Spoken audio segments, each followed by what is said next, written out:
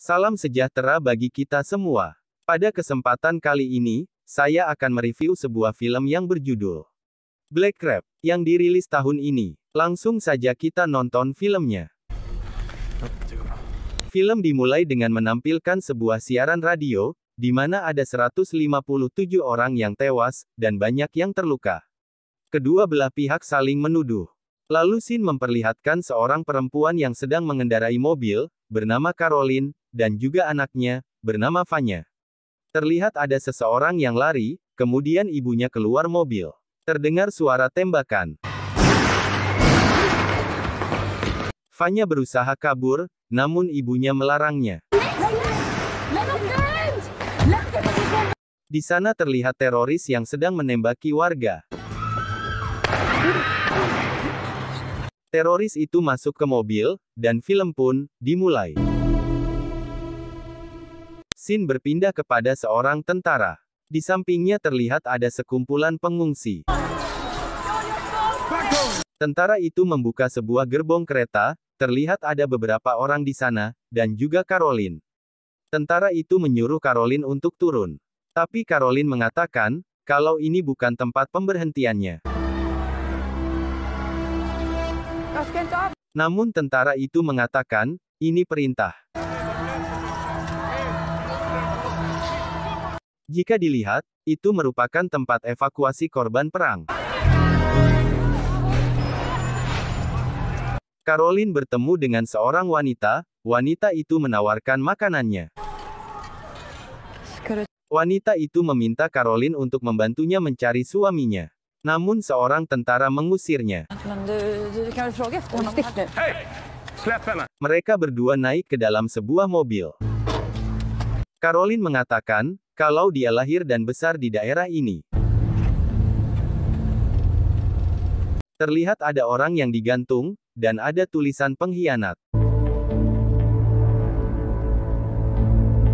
Tentara mengatakan, kalau kita akan ke markas. Namun Caroline mengatakan, kalau ini bukan jalannya. Tentara itu turun untuk mengambil sesuatu.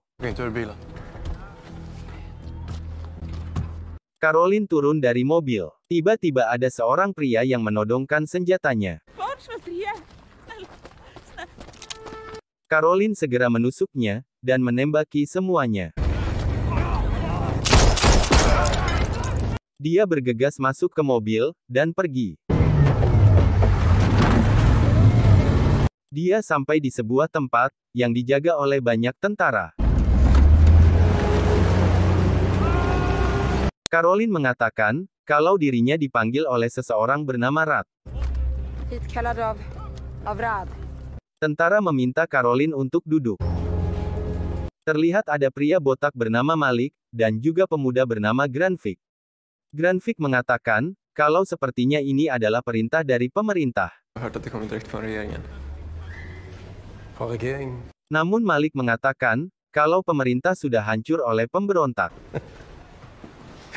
Lalu datang pria bernama Karimi, di mana dirinya mengobrol dengan Malik. Dan Malik mengatakan, banyak yang terbunuh dalam peperangan ini. Datang wanita, panggil saja kapten. Kapten memberitahu, kalau Kolonel Rat, sudah siap ditemui. Mereka berempat menemui Kolonel Rat. Rat mengatakan, kalau situasi sekarang sangat kacau. Kapten mulai bicara, dan mengatakan kalau musuh sudah membunuh banyak tentara kita. Musuh akan sampai ke sini dalam beberapa hari. Dan apabila itu terjadi, kita kalah perang. Oleh karena itu, kita harus melakukan misi khusus. Rat mengatakan kalau operasi ini disebut dengan operasi Black Crab. Rat memberikan tugas kepada mereka berempat, untuk membawa dua kapsul melintasi es.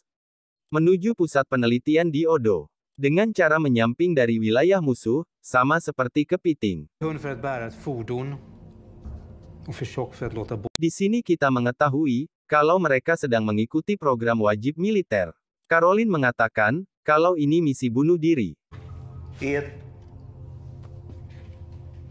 Rat mengatakan, kalau ini adalah sebuah perintah. Mereka bubar. Namun Rat, menyuruh Caroline untuk tetap di sini. Rat mengatakan, ini memang misi bunuh diri. Minimal satu orang saja berhasil bertahan dalam misi itu, kita semua akan selamat. Rat memberikan sebuah foto, dia menemukannya di tempat evakuasi. Kemungkinan itu adalah putrinya, dan sekarang dia ada di daerah Odo, yang merupakan tujuan dari misinya. Var? Caroline pergi. Caroline nampak memandang foto anaknya. Salah satu darinya ingin kabur, namun Caroline mengingatkannya tentang hukuman terhadap pengkhianat. Kapten datang untuk memberikan peralatan perang kepada mereka. Kapten mengatakan, kalau kita akan berangkat besok. Sov, ät, pissa, skit. Mereka semua bergegas bangun. Terlihat peperangan besar sedang berlangsung.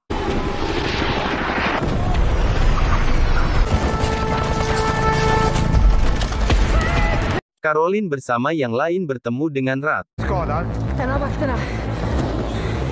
Seorang tentara bernama Nailun, orang yang bersama Caroline pada awal scene, akan ikut bersama dengan mereka. Rat menyuruh mereka untuk bergerak pada malam hari. Mereka berlima mulai bergerak, kapten juga ikut.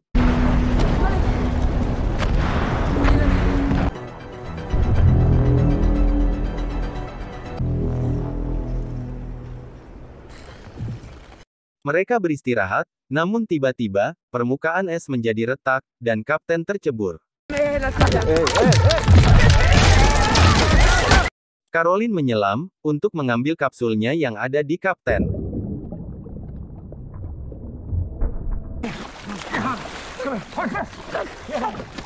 Mereka melanjutkan perjalanan lagi tanpa kapten. Mereka masuk ke sebuah rumah, untuk memberikan pertolongan kepada Caroline yang kedinginan. Malik mulai membuat api. Granvik mengatakan kalau kapten belum sempat memberikan perintah apa-apa. Malik mengatakan, kalau Nailun adalah kapten yang baru. Terlihat Nailun menyalahkan Caroline, karena meninggalkan kapten. Malik melerainya. Malik mengatakan, kalau Caroline tidak melompat ke air untuk menyelamatkan kapsulnya, maka misi berakhir. Malik mengatakan, kalau Nailun memiliki pangkat tertinggi. Dan dia sekarang menjadi kapten yang baru. Ya. Mereka mendengar suara helikopter. Terlihat Karimi sedang menggunakan alat komunikasi.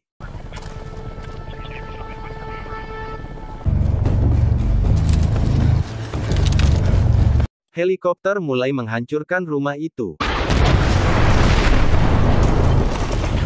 Caroline menodongkan pistol kepada Karimi.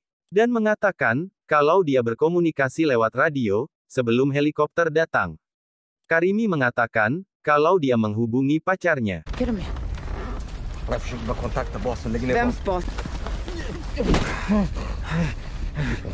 Tiba-tiba terdengar ada yang datang.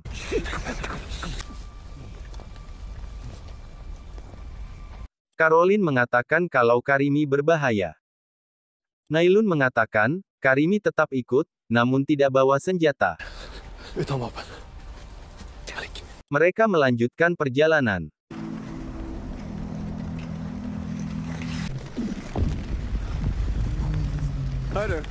Karimi terjatuh. Dan terlihat di permukaan es, banyak mayat yang sudah membeku.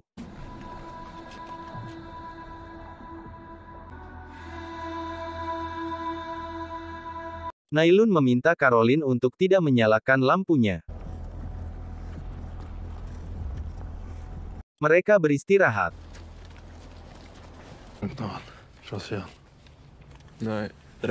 Terlihat helikopter datang, dan mulai menembaki mereka. Helikopter mengejar Caroline, dan dia berhasil sembunyi.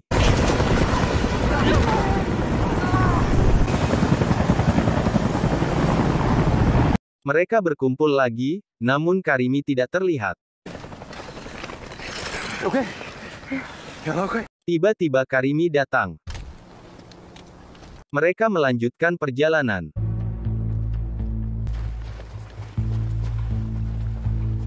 Mereka masuk ke sebuah bangunan. Dan terlihat ada dua orang di sana. Ja. Wanita tua mengatakan, kalau dia tetap bertahan di sini, dan menghindari evakuasi. Malik mengatakan, kalau dia mendapat banyak barang bekas karena perang ini. Dan akan segera membuka toko barang antik. Det. Wow. Helt... eh, Sendok Caroline terjatuh. Ketika Caroline mau mengambil sendoknya, dia melihat sebuah senjata di bawah meja.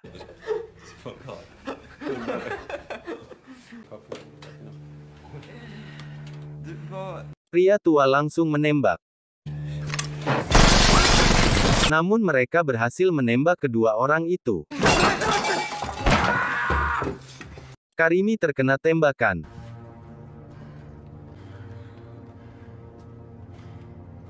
Terdengar panggilan dari teleponnya Karimi. Dan yang meneleponnya adalah pacarnya.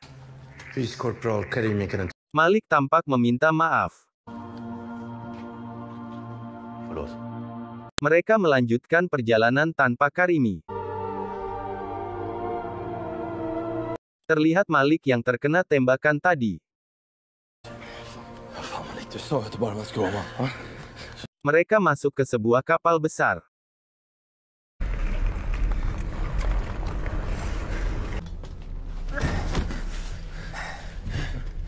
Mereka mulai berdiskusi, karena Malik tidak mungkin bisa berjalan lebih jauh lagi. Kan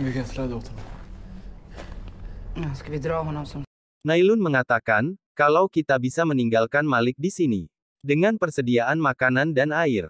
Lalu menghubungi markas, dan meminta seseorang menjemput Malik. Granvik memegang kapsulnya, dan ternyata, di dalam kapsul itu adalah, sebuah virus atau senjata biologis.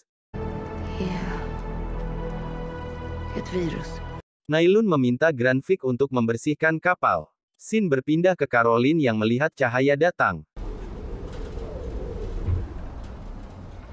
Dia mendengar suara tembakan, dan ternyata itu Malik yang membunuh dirinya sendiri. Malik.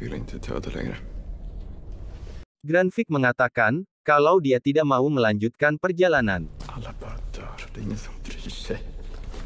Caroline melanjutkan perjalanannya sendiri. Terlihat es di permukaan mulai retak. Nailun dan Granvik menyusul. Nailun meminta kapsulnya. Caroline memberikannya. Granvik melemparkan tali, dan mereka mulai menariknya. Mereka melanjutkan perjalanan. Permukaan kembali retak. Namun mereka mendapat serangan. Granvik mulai menembak.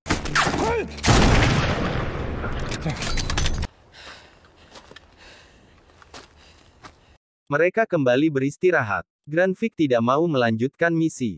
Namun Caroline berusaha meyakinkan Granvik, kalau ini dapat menyelamatkan umat manusia. Vill bete... Caroline terbangun, namun kapsulnya telah dibawa oleh Nailun. Tiba-tiba mereka menerima serangan, dan terlibat pertempuran.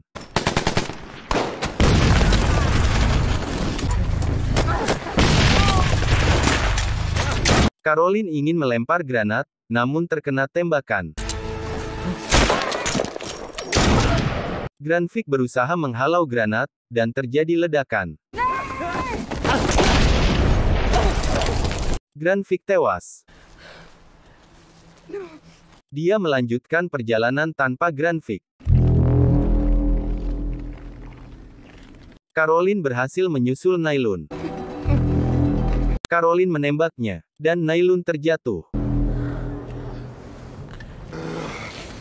Caroline meminta kapsulnya, namun Nailun menyuruhnya untuk membuangnya.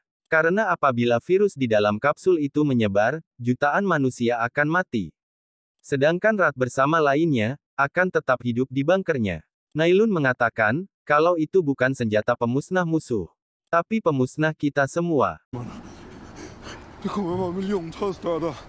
Caroline tetap melanjutkan perjalanan. Kemudian ada empat orang datang. Dan dia sudah sampai di daerah Odo. Ketika dia siuman, dia bertemu dengan Nailun kembali, dan lainnya. Caroline mendapatkan medali kehormatan.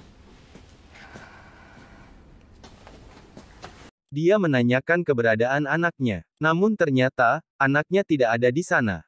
Rat telah membohonginya. Nailun berusaha menenangkannya.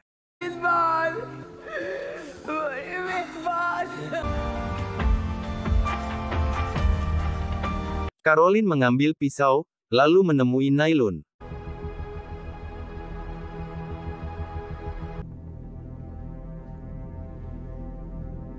Caroline mengatakan, kalau kita harus menghancurkan kapsul itu. Dia mengatakan, kalau virus itu akan membunuh semua manusia di luar sana. Termasuk para pengungsi. Termasuk anaknya juga. Mereka berdua bergegas menuju laboratorium. Mereka sampai. Namun penjaga melarangnya masuk.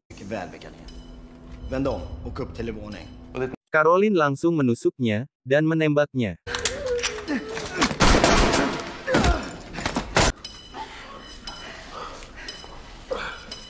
Mereka bergegas masuk, dan mendapatkan virus itu.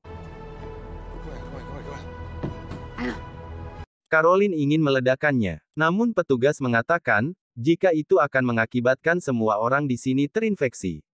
Jika ingin meledakkannya, harus di luar. Mereka bergegas keluar.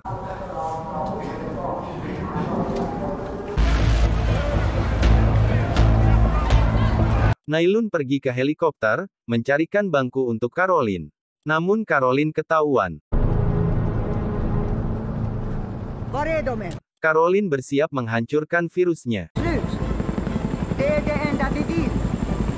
Nailun pergi dengan helikopter. Caroline menjatuhkan diri, dan meledakkan virusnya.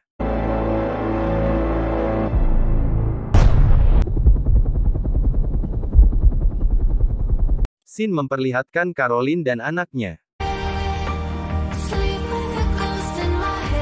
Film pun berakhir. Kesimpulannya adalah, peperangan yang terjadi telah memisahkan Caroline dengan anaknya.